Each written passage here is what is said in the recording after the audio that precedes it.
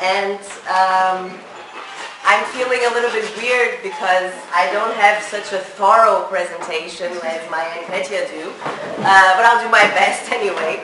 Uh, and um, the first thing I wanted to tell you, uh, which I think is okay when we're talking about a book that is done by someone that is your friend and your comrade, is um, I was asking myself, and I actually asked George why he invited me to speak. And um, when I was reading through the introduction, um, he mentions that actually this idea of interviewing people and bringing these interviews together started in 2015 when I was here in Athens uh, covering for Jacobin and writing about the Greek situation for Jacobin.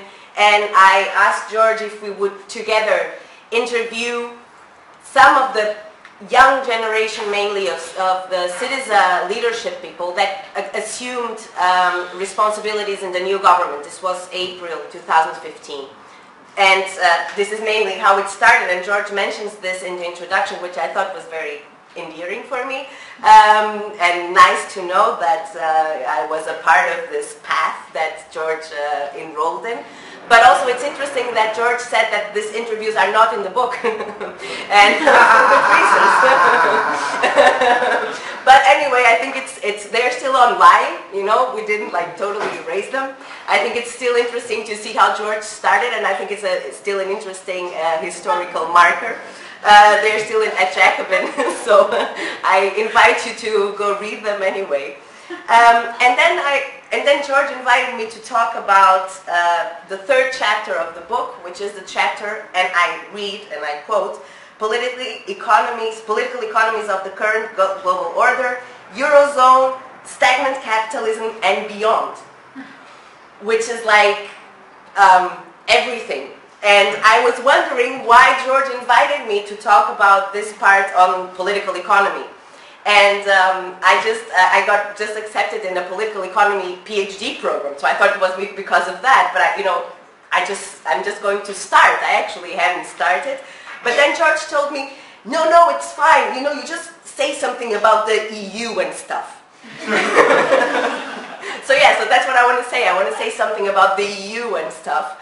Um, and so, but, but it does make sense because I have a, a couple of uh, remarks upon the book, which it, are not critiques, but it's interesting to see uh, how George organized this book. Uh, in the introduction, he, um, he makes a thorough analysis about the contents and the, the authors or the, the interviewee, interviewees. Um, and he basically talks about them in different ways. On the, on the one hand, he talks about different political belongings, let's say, and he organizes people in accordance to different political backgrounds, traditions, belongings. Uh, then he goes on by trying to organize them into generational categories, so the millennial, the generation who are now in their 40s, 50s, who were uh, very active and have been leading roles during the anti-globalization um, uh, movements in the 90s, and then what he calls the generation of 68. So I was wondering why the book could not be organized also generationally. It also have been a question. Um, but he decided to organize it in topics. And I think it's hard to organize it in topics, especially when you're coming to a topic that is called political economy. Because, and the Eurozone, and stagnant capitalism and beyond.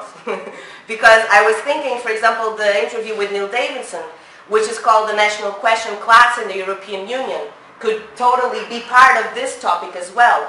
Or some of the work of Sara Farris about the political economy of the labor market and migrant fluxes could totally be part of a chapter of a topic of political economy. So it's complicated. But then when I actually got to read the chapter, um, I think there is, um, or this is what I saw at least, uh, or my understanding, there is an organizational line of debates, uh, and this is maybe why then invited me to be here, um, which is about um, um, the, the new old new debates on the question of scales.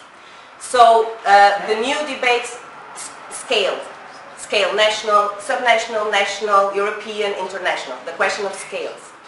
Um, and the question of scales is, is, is today, I think, uh, a very central debate for the left, for one, especially for one very particular reason.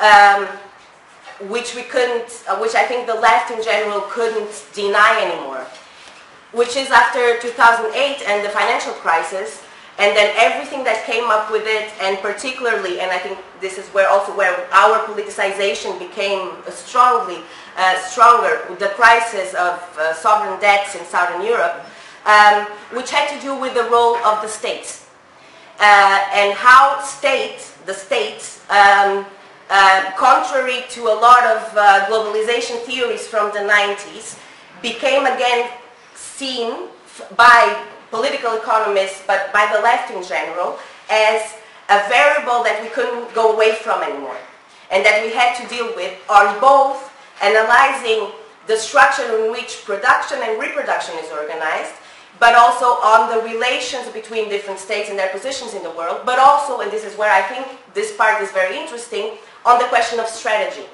So where does the left stand today concerning states and its relation to states on how we develop left-wing progressive strategies?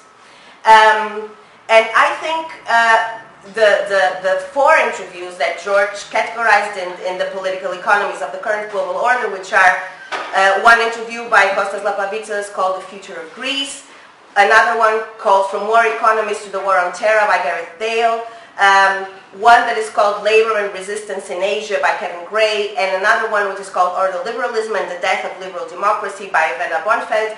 Um, uh, although they, a lot of them do approach the question of the euro and the eurozone as a, and the euro crisis as a very central question today for the left. There is, of course, the Kevin Gray interview, which is about Asia, but they all focus or they debate the question and the role of the state today. How, how, how does the what is the role of the state in a transnationalized global uh, capitalist system? And at the same time, what are, for the left, the new dilemmas and the new questions? So when we're talking about uh, borders or migration or, um, or um, uh, internationalism, democracy, we're talking again about the role of the state. And I'm not going to give you your opinion, I'm just, I just want to go a little bit through. And when we're talking about the new questions of sovereignty, how do we talk about sovereignty without giving space to the far right and to nationalist impulses? Uh, all these are, I think, and in my opinion, and for our generation, central questions, not only in terms of analysis, but mainly in terms of a strategic thinking. And I think in the end, that's, that's what is interesting about this particular interviews is that they're not only broader analytical um, proposals, they are thinking about strategy. And by strategy, I mean the understanding of what instruments, what paths, and what subjects we need in order to build uh, or to transform uh, the relation of forces between capital and labor. So this is what I had to say. I think uh, go get the book. uh, and I just want to make it short because there's still three other people.